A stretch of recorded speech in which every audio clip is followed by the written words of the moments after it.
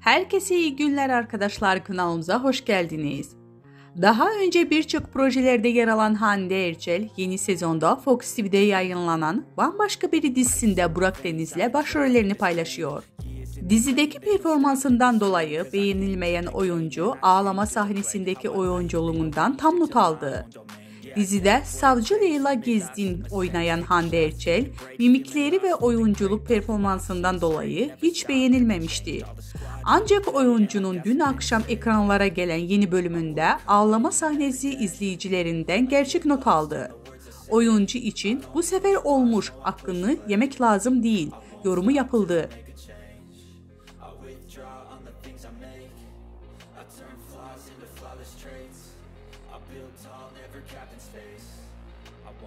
Till I hear him say.